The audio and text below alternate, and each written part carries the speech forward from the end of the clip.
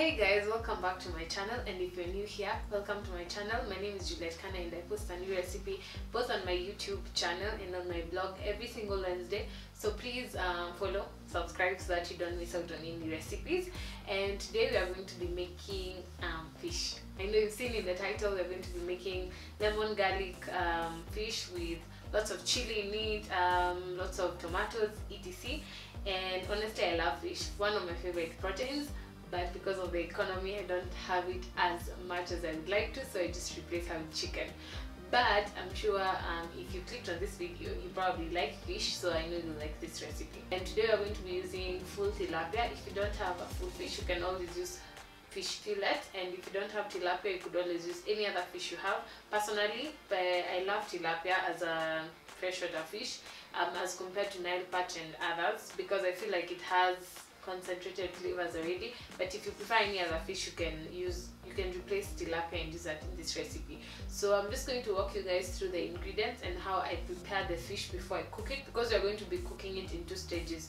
First stage in oil then the second stage in the stew. So i'm just going to walk you through how i prepared the fish etc and then we'll come back here and then we'll get through the recipe Start by scoring the fish so that all the marination flavors can get into all the cracks and be evenly marinated. I'll marinate this in some ginger and garlic, some salt, freshly squeezed lemon juice, some soy sauce, and finally some black pepper. And I will rub this into the fish, into the cavity of the fish, into all the cuts so that it can be well marinated.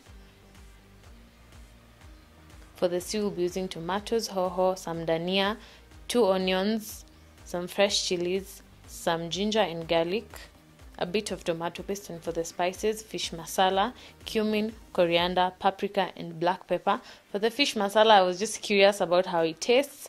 Um, it's pretty cheap, but if you don't have it, you can use the other spices.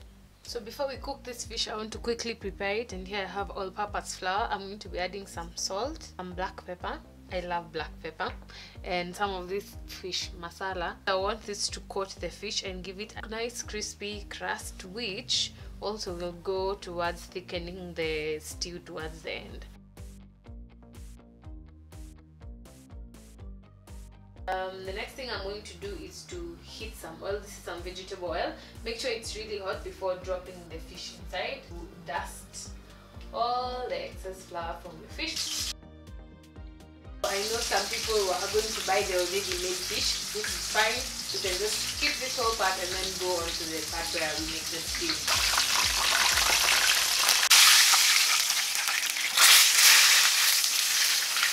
Once our fish is nice and ready on both sides, golden brown is what we're aiming for. I'm going to remove this and set this aside.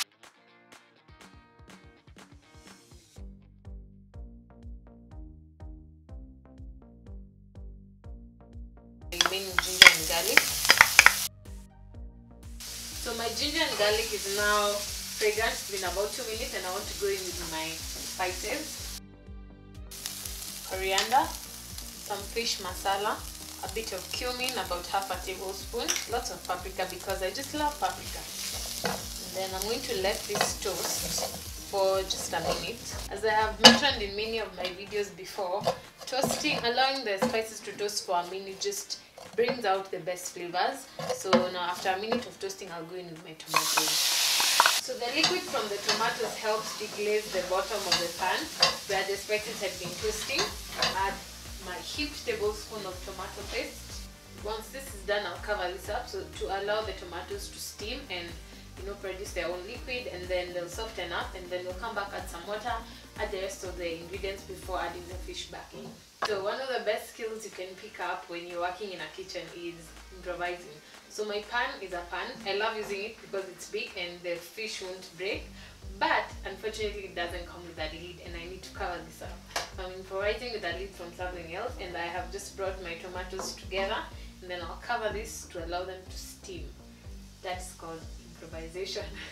Once it's been steaming up for a while, we're going to add in some water.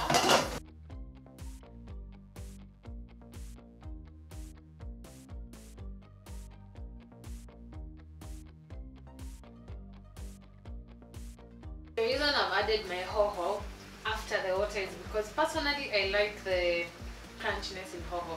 So I prefer to add it towards the end so that it can have less time to cook. But if you prefer them softer, you just add them together with the tomatoes.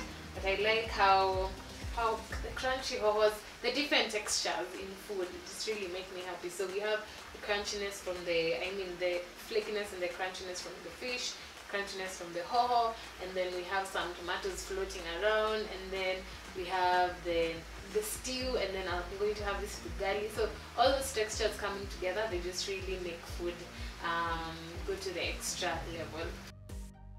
So before my fish goes in, I don't want it to thicken too much because I want the fish to boil here for at least at least five minutes, five to ten minutes.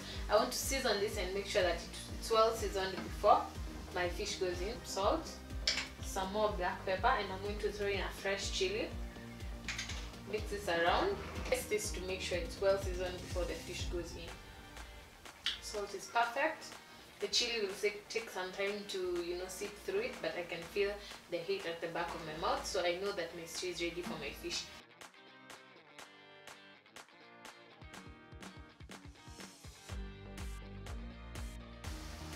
I also have maji ugali over here boiling. Let me tell you guys a secret. It's between me and you. I am terrible at making ugali. It's the one thing I have not hacked. So I'm not going to zoom into my process because I'm just making ugali for myself. You guys do not need to see that side of me. I'm going to finish off with some dania.